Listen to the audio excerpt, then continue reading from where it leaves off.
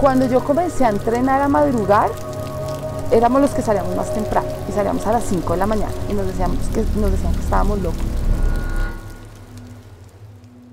Mi nombre es Camila Cortés, soy ingeniera ambiental, ciclista aficionada. Por cosas de trabajo me tocó comenzar a madrugar más, entonces comenzamos a salir a las 4.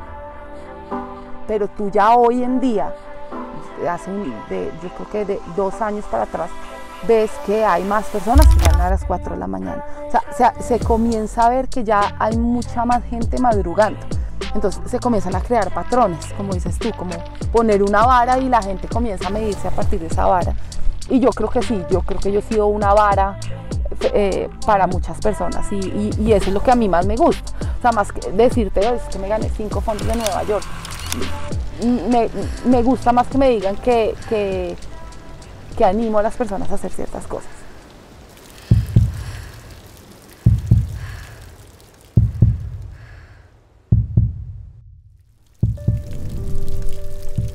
La cuchilla la describo como un puerto de montaña muy duro. Eh, yo, pues para mí es como si fuera el patio de mi casa. Eh, la, hago muchísimo porque me queda muy cerca de, mi casa eh, y, y, para mí es el mejor entrenamiento. es duro porque pues es una subida de 11 kilómetros aproximadamente, pero llegamos a 3.300 metros, entonces eso es lo que hace que, que la cuchilla sea un puerto de montaña duro, duro de afrontar y al final además pues tiene un pedazo con mucho viento. Eh, es muy exigente y, creo yo que para poder eh, llegar a un buen nivel eh, la cuchilla es el puerto ideal para entrenar. PR en cuchilla. Creo, no sé, es que no lo tengo muy claro, pero creo que es como 38. Pero 38 algo. Sí, 38 algo.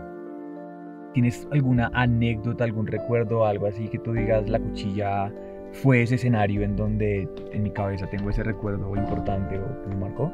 Pues eh, realmente las primeras, los primeros gran fondos que se comenzaron a hacer acá en Colombia, eh, todos fueron en, la cuchilla. Eh, entonces creo que el correr en un puerto tan conocido y como digo yo, el patio de mi casa y ganar en ese puerto de montaña, para mí es especial. Eh, creo que todas las veces que he corrido en la cuchilla, eh, puedo decir que me, he ganado esa carrera. Entonces para mí es bastante especial. Y, yo lo que veo es que mi vida cambió totalmente desde que asumí como mi estilo de vida el ciclismo.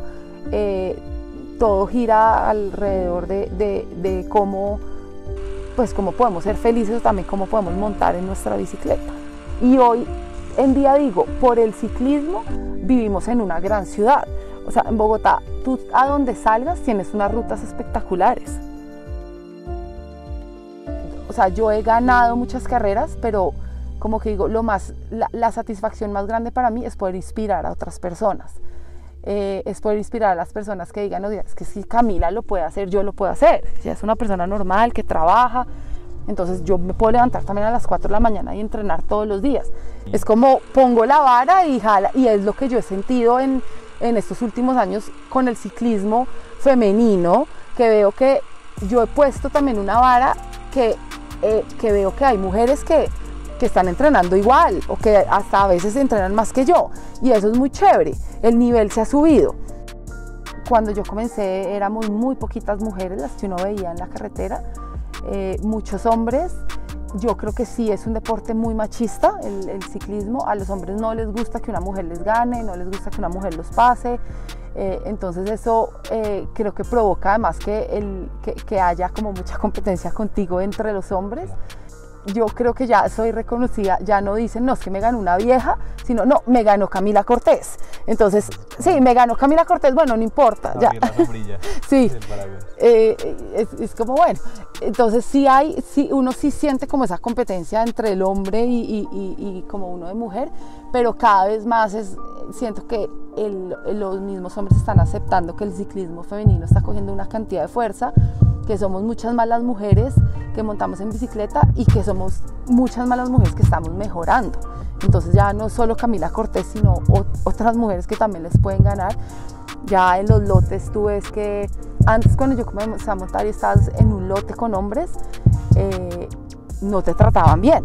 O sea, era como, ya en los lotes los hombres respetan más a las mujeres, o sea, creo que ya ha habido más aceptación, pero todavía hay mucho camino por recorrer en el ciclismo femenino.